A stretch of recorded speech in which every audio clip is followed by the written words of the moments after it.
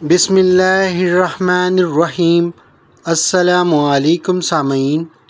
इस वीडियो में हम देखेंगे कि जरलिंडा नाम का मतलब और इसकी मज़ीद तफसीलात क्या हैं। ये नाम उर्दू और इंग्लिश में कैसे लिखा जाता है या इसके स्पेलिंग क्या हैं, ये आप अपनी स्क्रीन पर देख सकते हैं। ज़ुबान है इब्रानी, यानी इस नाम की इब्तदाई तारीख इब्रानी ज़ुबान से निकलती है। मज़हब है गैर मुस्लिम, यानी इस नाम का ज़्यादातर इस्तेमाल गैर मुस्लिम मज़ाहब में किया जाता है। जिन्स है लड़की, यानी इस नाम का ज़्यादातर इस्तेमाल लड़कियों के लिए किया जाता है। जरलिंडा की मुख्तर इंग्लिश मीनिंग है ब्यूटीफुल डॉन, उर्दू मायनी है खूबसूरत लूहे फजर। जरलिंडा नाम का मुमकिन तौर पर सबसे ज़्यादा इस्तेमाल जिन तीन ममालिक में किया जाता है, उनमें सरफरिस्त है इंडोनेशिया नंबर दो पर है सिंगापुर और नंबर तीन पर है इंडिया। इस नाम के अफराद के लिए मवाफिक समझे जाने वाले दिनों में शामिल हैं बुध जुमा और हफ़्ता।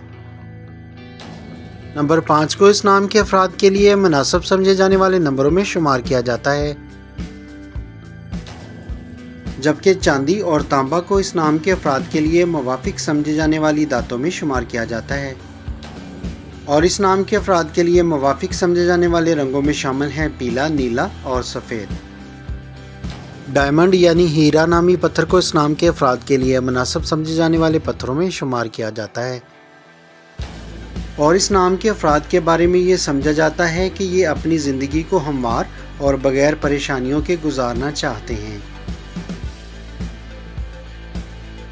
उम्मीद करते हैं कि आपको ये वीडियो पसंद आई होगी। आपसे दरख्वास्त है कि अपने बच्चों के लिए कोई भी नाम फाइनल करने से पहले अपनी इमाम मस्जिद या किसी आलम दीन से मशवरा ज़रूर करें। और इसके साथ साथ आपसे दरख्वास्त करेंगे कि इस वीडियो को लाइक करें और हमारे चैनल को सब्सक्राइब कर लें। मिलते हैं अगली वीडियो में। तब तक के लिए इजाज़त दीजिए। शुक्रिया। अल्लाह हाफिज़।